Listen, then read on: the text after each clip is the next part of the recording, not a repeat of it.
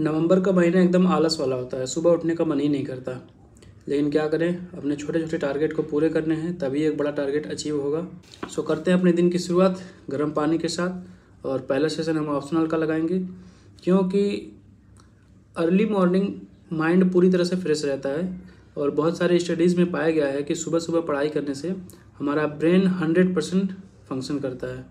सो so, बहुत सारे लोग सुबह उठते ही मैथ सॉल्व करते हैं पहला सेशन हम ऑप्शनल का लगाएँगे साढ़े पाँच बजे से साढ़े सात बजे तक दो घंटे का। और बाकी एक और क्लास करनी है ऑप्शनल की, वो हम लाइब्रेरी में चलिए करेंगे, दोपहर में दस, साढ़े दस बजे तक।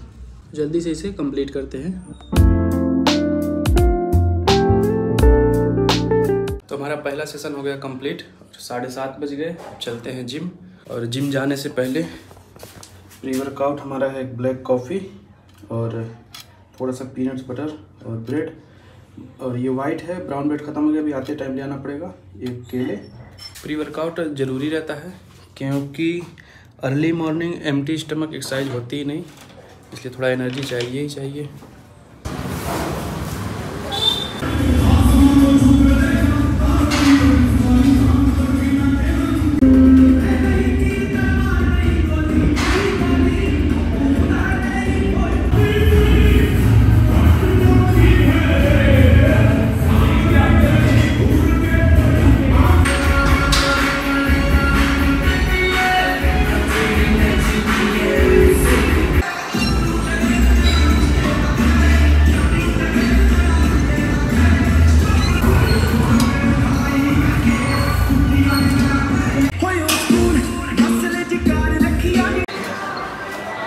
सत्ताईस वाला अमूल और तीन अंडे।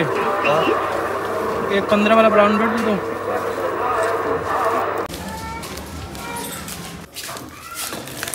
तीन अंडे ले आया था, एक कल का पड़ा हुआ था, उसे भी बॉयल कर लेते हैं आज।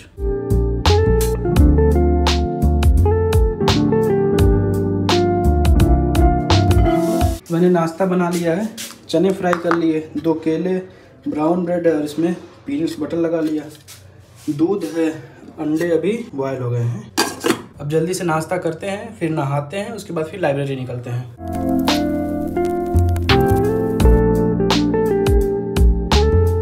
कितना भी जल्दी कर लो लेट हो ही जाता है। सोचा था दस बजे निकल जाऊँगा, दस बज के दस मिनट हो गए। सवा दस बजे तक लाइब्रेरी आने के बाद अब हमारा सेकंड सेशन होगा पॉलिटी रिवीजन का, और मैं रिवीजन कर रहा हूँ। N C R T gist है मेरे पास पॉलिटी की ये है महेश कुमार बर्नवाल की, और पॉलिटी के लिए लक्ष्मीकांत तो अपना है ही है।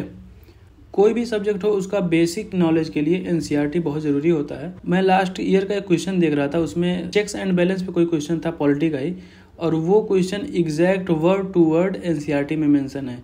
जिसने भी ये एक बार एन पढ़ा होगा, वो डेफिनेटली ये क्वेश्चन सही करके आया होगा।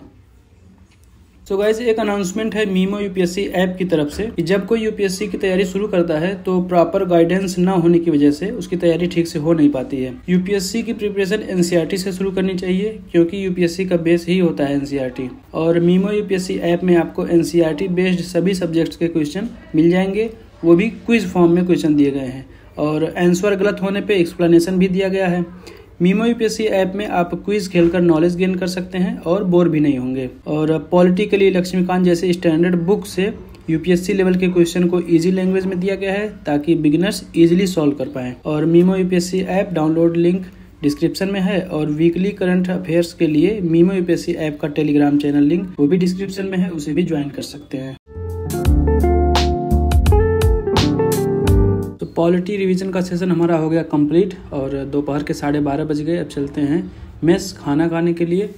और आज मेस में हमारे बना था लौकी की सब्ज़ी, इसलिए मैं मेस गया नहीं, वहीं से वापस चला आया और मैं अभी आया हूँ होटल।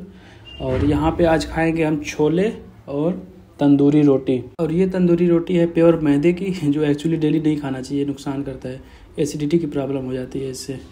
मैं डेली खाता नहीं, बस कभी कभी लाइक जिस दिन में नहीं जाना रहता, उस दिन मैं चलाता हूँ यहाँ पे। यहाँ के छोले बड़े अच्छे बनते हैं। एक बजे तक लंच करने के बाद मैं वापस आ गया लाइब्रेरी मेरा सारा सामान वैसे ही पड़ा हुआ था। तो अब हमारा थर्ड सेशन होगा ऑप्शनल का और ऑप्शनल की दो क्लास मैं इसलिए कर रहा हूँ ताकि ये नवंबर तक कंप्लीट हो जाए और दिसंबर, जनवरी दो महीने आंसर प्रैक्टिस करके इसे ख़त्म कर देंगे। बाकी फरवरी से प्रीलिम्स ओरिएंटेड सब्जेक्ट्स ही पढ़ना रहेगा। और ऑप्शनल पे ज़्यादा टाइम इसलिए भी देना चाहिए क्योंकि ये एक ऐसा सब्जेक्ट है जो 500 मार्क्स का है और जिसमें से 300 मार्क्स पे एटलीस्ट फोकस करके चलना ही चाहिए क्योंकि ऑप्शनल में जिसके अच्छे मार्क्स हैं, वही मेंस क्वालिफाई कर पाएगा।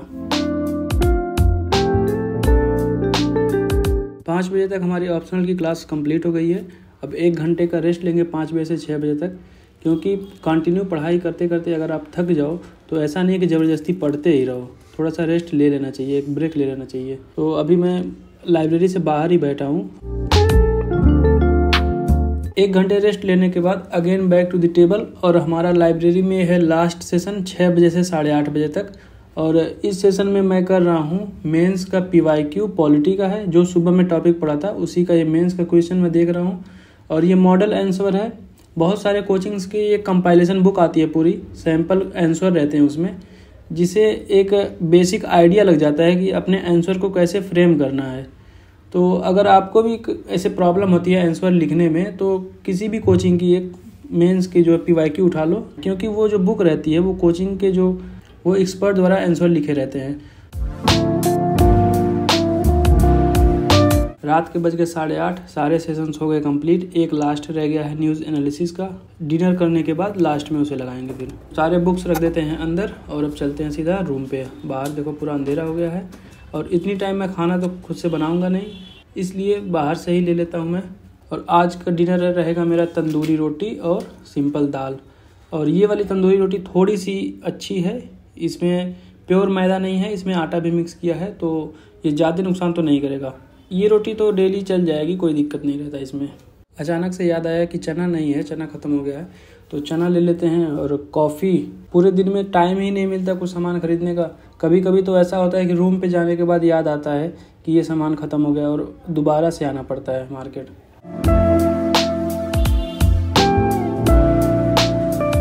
दो अंडे दे देना।